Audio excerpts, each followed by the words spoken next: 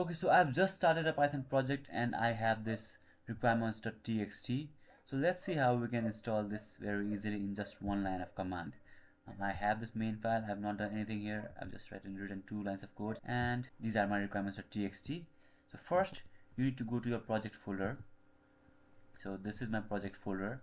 So as you can see I have a requirements.txt now you need to open terminal in this folder.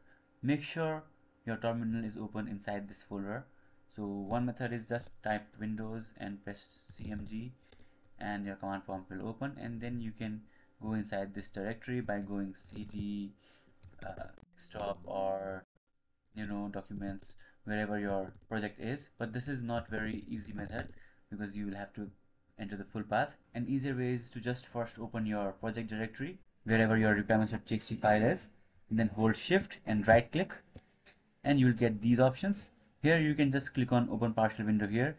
If you see open command prompt here clicking that will work the same. And once your terminal is open as you can see now we are inside our my project directory. This is my project. In your case this will be your project. Now just write this command pip install dash r requirements hit tab and it will auto complete.